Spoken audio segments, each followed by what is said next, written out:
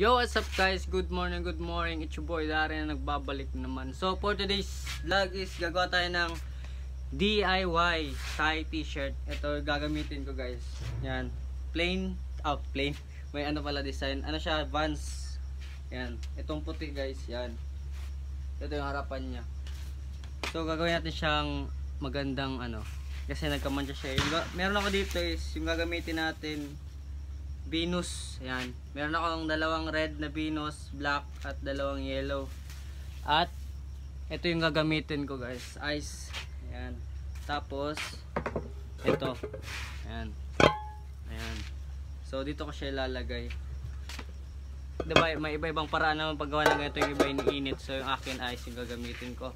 So sa ano dyan, sa mga gustong makita kung paano gawin, ah, stay put, charot. Panoorin nyo na lang ako guys, just follow the step na lang.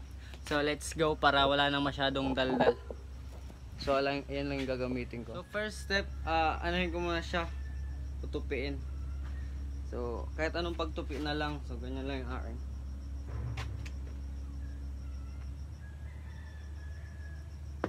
Ito, ito. So let's go. Ayan, second step natin is lalagay natin siya dito yan. Di ba? Kaya may butas para yung tubig niya bumaba. So, yung next natin is babasagin natin yung ice. So, taran, ayan na siya. So, yung ice guys, nilagay sa ibabaw. So, natahuban na yung t-shirt. Okay, so, next step natin is ilalagay ko tong Venus na to. Red, yung una. Next, yellow. Yan, tapos itong black. So, let's go. Guys, nilagay ko na yung mga ano color. So, ito pa, color red. Ayan. Tapos, hayaan lang na matunaw yan guys, yung ice. Yung ice to bahala dyan mag ano.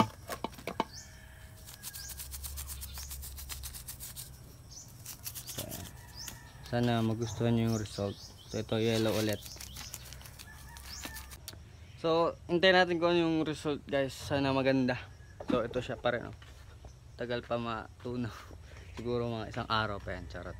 So, ayan. Hindi na natin uurasan. Hintayin ko lang matunaw. So, update ko na lang kayo no. So, baka magsawa kayo sa mukha ko. So, ay, malapit na siya. Mabalik. So, ayan siya guys. Oh. Binilad ko. Tarang.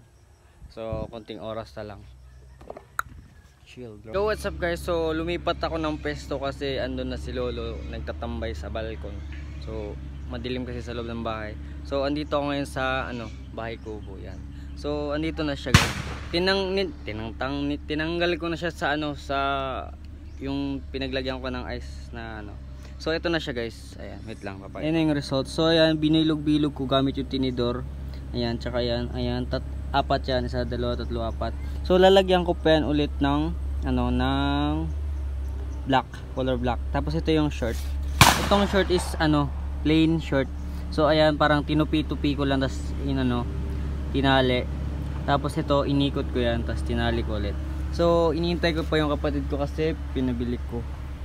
What's up guys so dumating na yung kapatid ko. So ito na siya mainit pa kasi. Yung tubig pinakulo ko. Tapos dito ko siya nilagay. Dalawang Venus na black. Tapos nilagyan ko ng asin. Ganun talaga yung basta pag initan, lagyan ng asin. So binutasan ko siya, ayan. Binutasan ko siya parang iano ko lang siya diyan is basta. So iano natin ilalagay na. So let's go. Nasisirita na natin. So nagyan naglagay ako ng hapin sobrang init eh.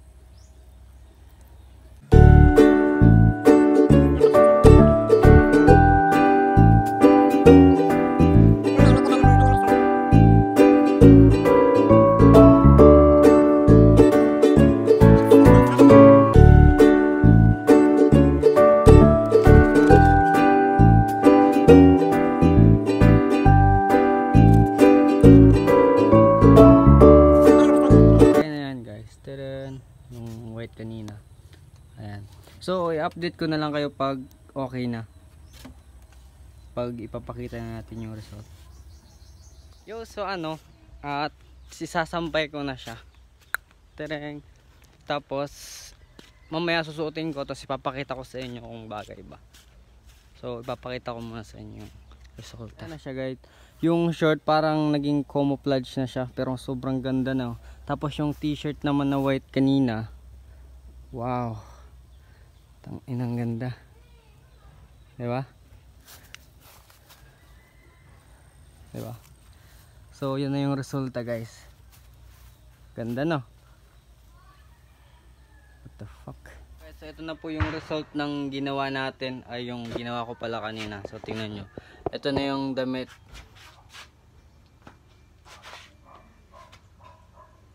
At yung.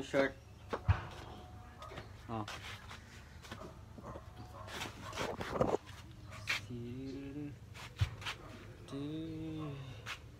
O, di ba? So, thank you so much for watching. Please like and comment, subscribe about this video. Mali, mali. Please like and don't forget comments about this video and subscribe. Thank you. See you for my next video.